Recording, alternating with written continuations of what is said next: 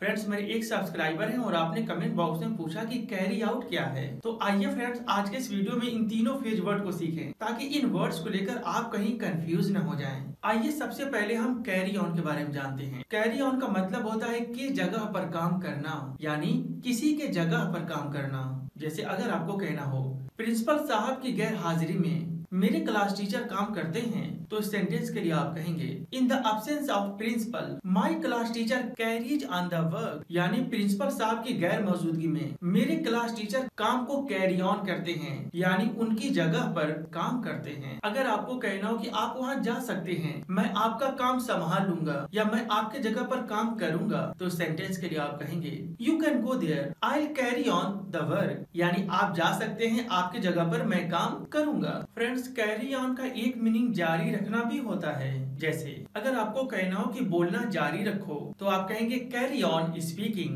काम करना जारी रखो। कैरी ऑन वर्किंग इंग्लिश पढ़ाना जारी रखो। कैरी ऑन टीचिंग इंग्लिश तो फ्रेंड्स, उम्मीद करता हूँ कि आपको ये बात समझ में आया कि कैरी ऑन का एक मीनिंग किसी काम को जारी रखना होता है। आइए अब कैरी आउट के बारे में सीखें। कैरी आउट का मतलब था के अनुसार काम करना या के मर्ज़ी के हिसाब से काम करना।